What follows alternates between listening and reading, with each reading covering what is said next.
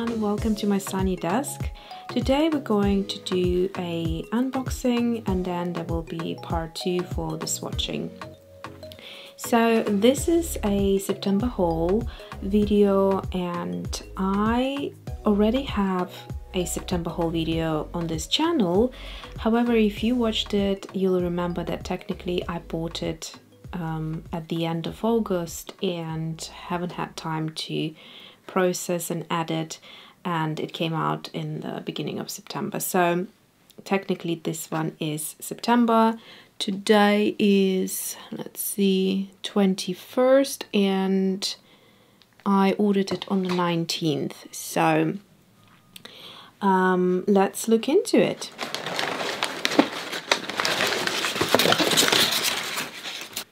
I have my recycling bin ready. Okay, so these must be inks. So let's see.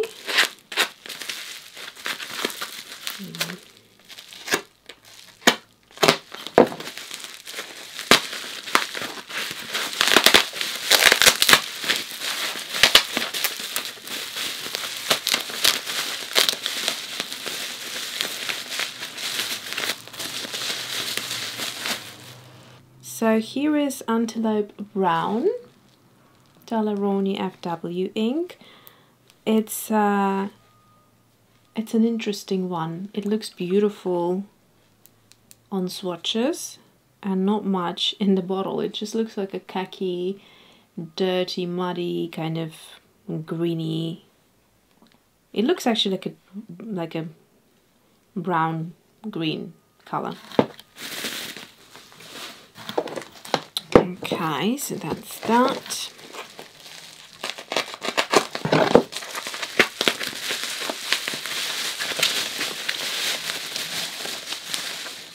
Another brown is a burnt umber.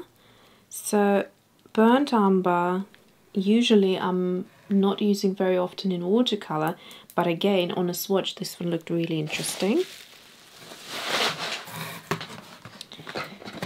Then we have some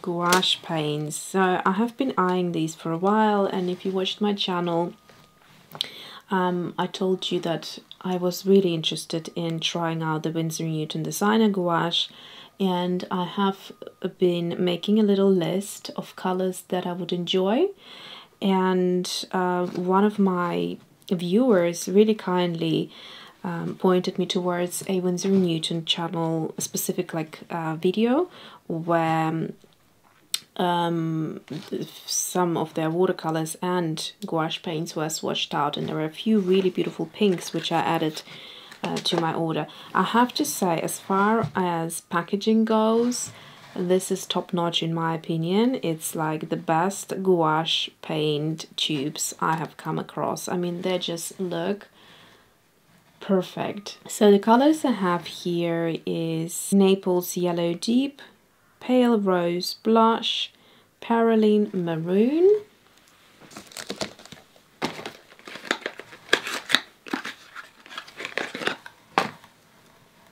and then we have these. Here is Opera Rose, I have um, Opera Rose in a number of different brands in watercolor and I was really sort of um, interested in seeing how it would behave in a gouache, keeping in mind it would have to be quite opaque um, and sort of a solid color. So that would be a beautiful color for an you know super bright pink lip or something like that. Rose Tyrien and Orange Lake Deep I'm not sure. I think this was the orange color that really uh, got my attention on Natasha Newton's channel recently. There was a lovely fiery orange and I think that was it. And then we have another brush. So in my previous haul, you would have seen this one. The size 6 Pro Art Prolene Plus and then I also wanted a smaller, and I think this is a number two.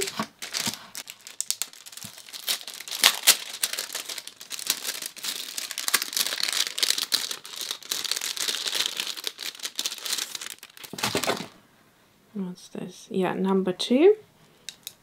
So they're like a oval tip and they're called filbert which I really like using with gouache paints.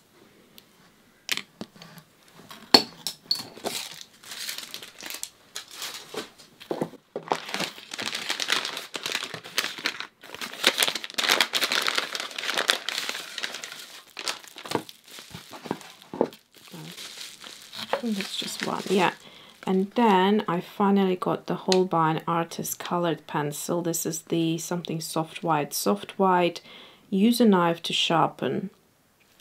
So this is supposed to be a very, very um, potent white. I'll take the stickers off later. So I am quite interested in trying this out.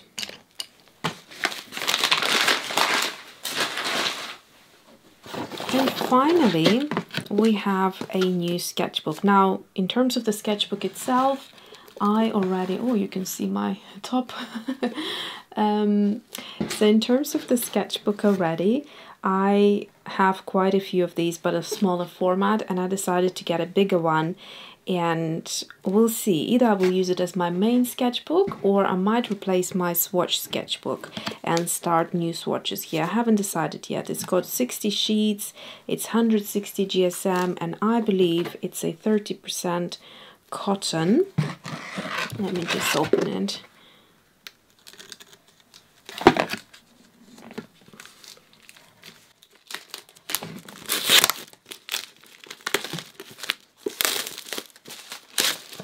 So the format of it is 24 by 20.6 centimeters. And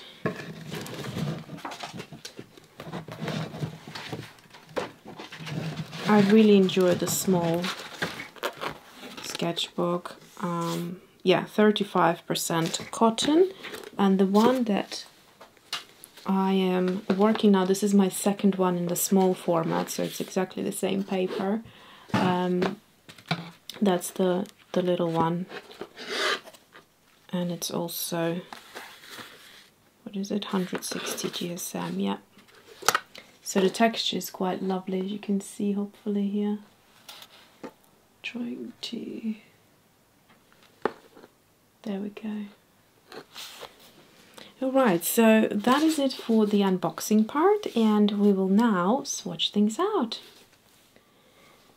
Welcome back for the swatches. So I'm going to start my new Daler-Rowney mixed media paper um, notebook and this one is 250 GSM A5 format and I just used up the entire um,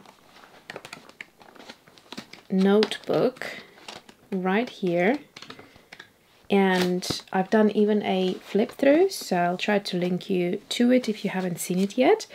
I have bought quite a few backups because I enjoy keeping this um, sketchbook as a way of kind of keeping track of things that I have purchased throughout the year and also what my favorites are. So this is the sketchbook that I do my art hauls swatches in and then also my favorites videos as well and um, yeah so I'll try to link it down below in case you are interested. I have found it on Amazon and it's been really really helpful.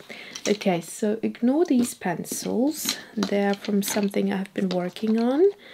Uh, what we are going to try out are these things right here. Also, um, I didn't purchase this on Jackson's because they were out of stock, but I found it on Amazon and actually it was like a lot cheaper. Uh, this is Princeton Artist Brush & Co. Uh, one of their catalyst tools and this is the 01 mini. So it's like a little spatula. It's nice and rubbery so it's great for when you're working with acrylic paints. Uh, if you're working out of a tub of paint, it's good to get paint out of it or just to create kind of smudgy effects. I like that the handle is not as long as in these ones because these are great for like bigger canvases which I generally don't work in so it's like massive for me. Uh, I prefer things to be smaller so I like the small um, handle. Also it was like delivered next day literally. So um, I will leave the link for you in case you're interested. There are also other tools available as well so you can check them out uh, too if you want it on um, Amazon and uh, Jackson's I'll leave uh, the catalyst link as well in case you wanted to look through you know um, the entire range of them or something. Okay so what we have is actually I'm first going to go ahead and take the stickers off because they just bother me.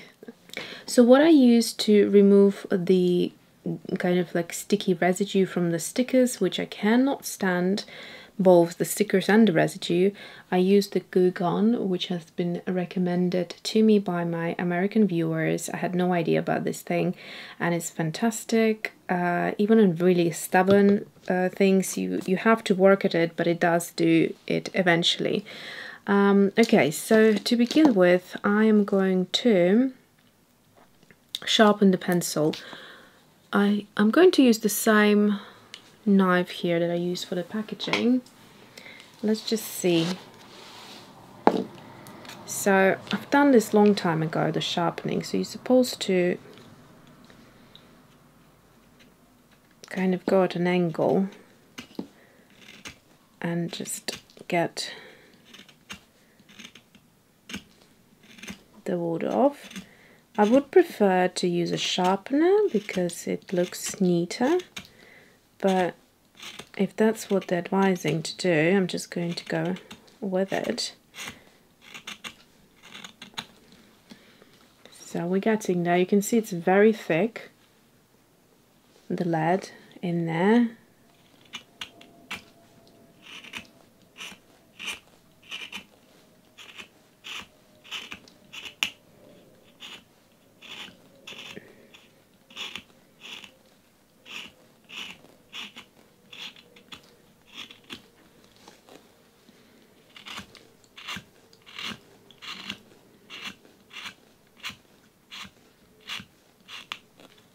So I got to the lead here, but I'd like it a bit pointier really. So I'm going to go ahead and start a bit more at the back.